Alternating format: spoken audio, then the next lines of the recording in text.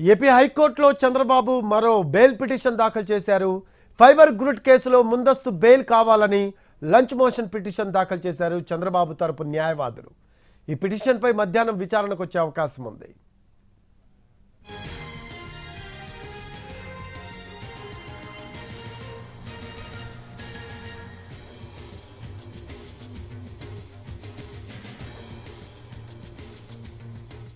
AP హైకోర్టులో చంద్రబాబు మరో bail petition దాఖలు చేశారు.